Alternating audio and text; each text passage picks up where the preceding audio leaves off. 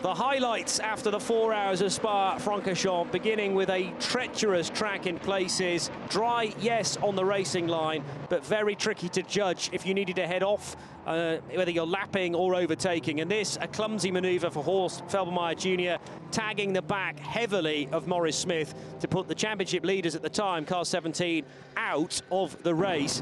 Morris Smith did an incredibly good job to get the car home safely. Couldn't even stop it in time in pit road, and the team needed to push it back on the hijacks. Meantime, Conrad Grunewald using surely one of his nine lives here. How close was that as Sarah Bovy slipped by to his right? Oh, so I mean, inches between the noses of those two Ferrari 488s at the top of Raidillon. Neither of these two LMP2s would make the corner at Les Combes corner as Habsburg attempted a manoeuvre on Duncan Tappy and Ferdy having to take to the escape route. Tappy also uh, the more traditional route through the tyre bales, but it cost both of them time and Ferdinand Habsburg will give the place back again.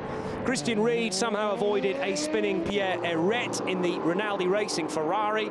And this was a moment for the race lead between Fabio Scherer and Nicolas Lapierre at Le Fagnes corner. Scherer running a bit too deep into the corner and forcing Lapierre off into the gravel.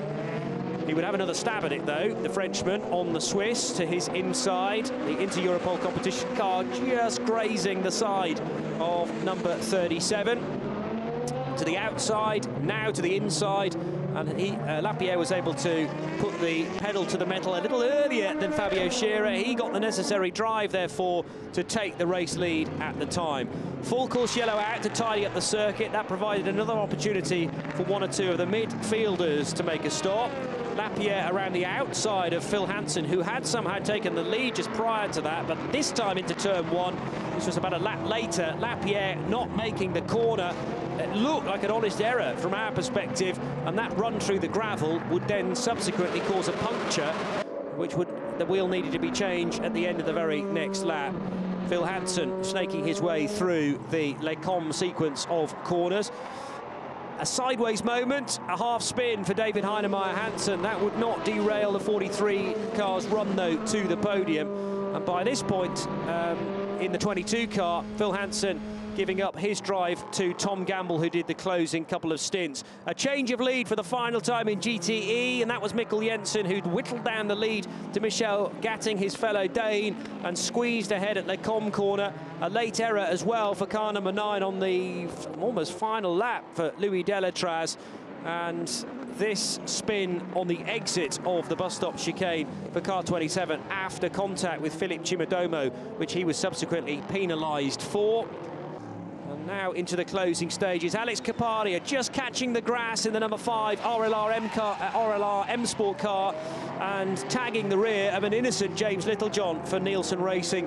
Uh, James would, though, hang on to a third place finish in LMP3 behind DKR and behind Inter-Europol competition. More debris to be collected from the Kemmel Straight.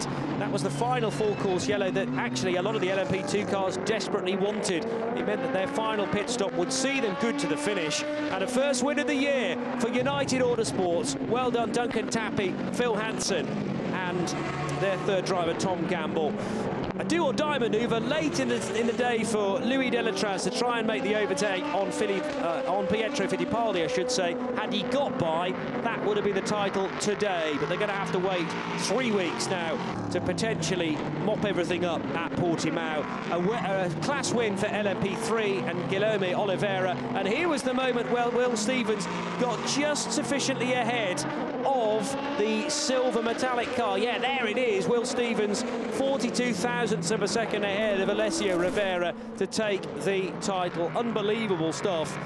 57 Ferrari, a first win of the year for Kessel. And there is confirmation that United Autosports, Phil Hanson, Duncan Tappy and Tom Gamble win from the trio in car 43. Uh, David Heinemeier Hansson, Pietro Fittipaldi and Fabio Scherer. Third position going to the championship leaders and almost champions. They need a couple more points to secure it in Portimao.